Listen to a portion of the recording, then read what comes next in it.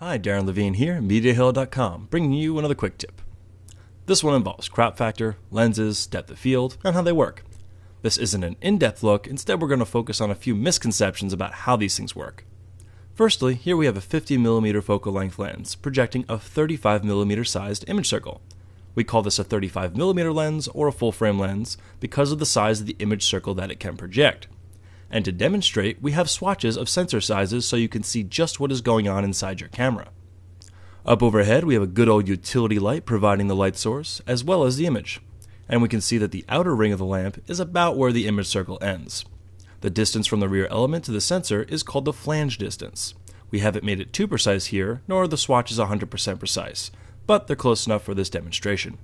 Now, the first thing to understand is that lenses are built to project a certain size image circle. This is a 35mm lens, and then we have crop sensor lenses, which are referred to as digital only, digi, or whatever hard marketing terms they chose. And basically, they're built to project a smaller image circle because the cameras they are intended for have the smaller sized crop sensors. Likewise, a camera with a 4 3rd size sensor has a 4 3rd lens for it, and 16mm and 2 3rd inch sensor size cameras have lenses with 16mm size image circles. The catch is that you can usually put a larger format lens on a smaller format camera, but it won't see as much of the image circle, which is what we call the crop factor. You cannot go the other way because then you will get a peephole effect, as we can see here if we throw a IMAX size sensor behind this 35mm lens. And now for our first debunk because every time I hear someone talking about DSLR video, they say, I want the 5D because it has the amazing shallow depth of field, and it's because of its huge sensor. Now, granted, I'm sure that not everyone out there thinks that sensors create depth of field, but let's clarify for those who may not know. Consider this demonstration. This lens here can mount on a 5D or a 7D with a crop factor. So let's simulate that and see if the depth of field changes. Here it is on the 5D, and it's got its depth of field. Now let's put it on the 7D. Okay, so where did the depth of field change? Here's a clue it didn't. The sensor has nothing to do with depth of field. It is physically impossible for the sensor to create or manipulate depth of field. It simply captures the light being projected onto it. Case in point, depth of field is created in the lens, period.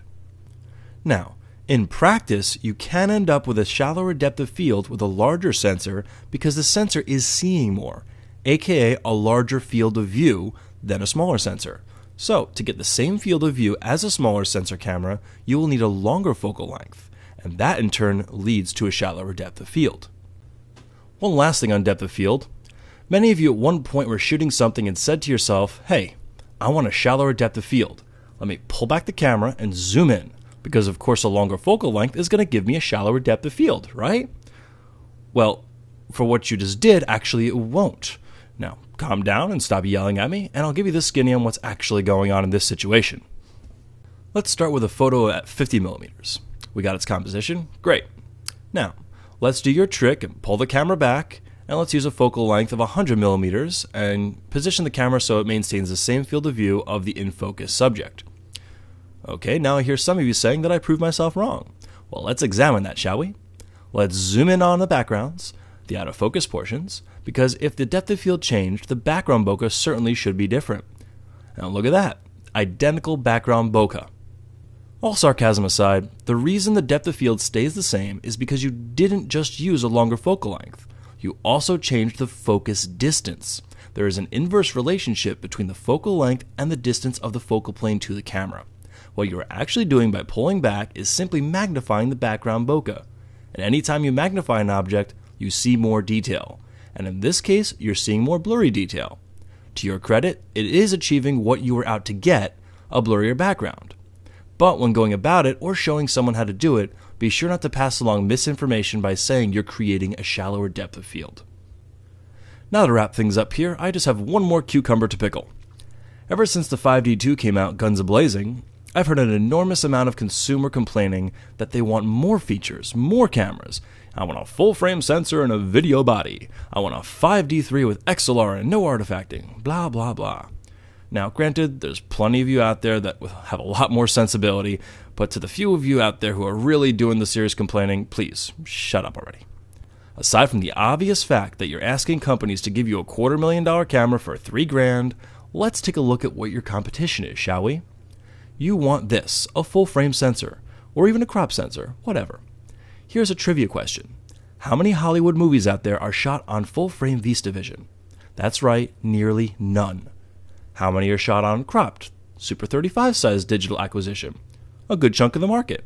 Now, what other size digital sensor also has a good sized chunk of the Hollywood market? This guy, the good old 16mm sized 2 3 inch sensor, which, by the way, was the first sensor to be used on a Hollywood production, which was Star Wars Episode 2, which was shot on the F900. So, riddle me this, filmmaker.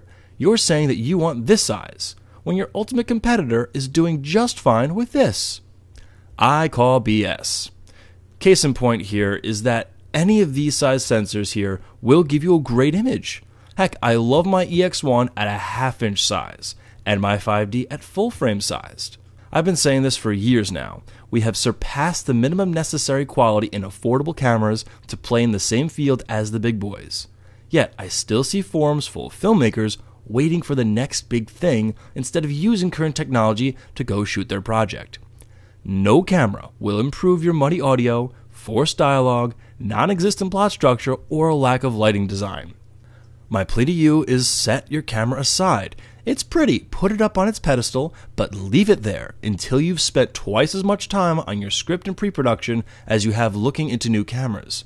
No movie has ever made millions just because of a camera it was shot on. Now you've got more important things to focus on. Go to it. So that's it for this little lens, crop factor, depth of field, quick tip slash rant. And this is Darren Levine from MediaHalo.com. Happy shooting, everyone.